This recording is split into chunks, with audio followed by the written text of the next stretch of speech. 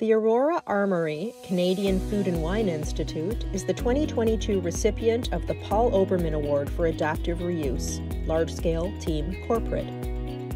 Constructed for the Department of National Defense in 1874, the Aurora Armoury is one of the oldest purpose built armories in Ontario.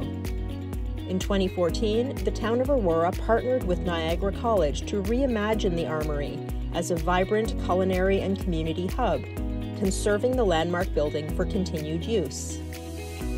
Designed by Gow Hastings Architects in collaboration with ERA Architects, the project provides modern teaching and event space while embracing the Armory's architectural heritage and prominent location at the edge of the town park.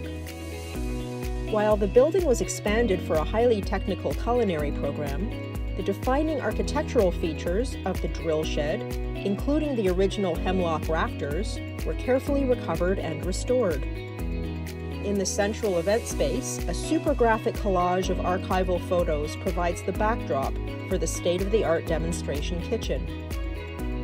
The adaptive reuse of the armory is an inspiration for other municipalities looking to give historic armories a renewed role in the life of their communities.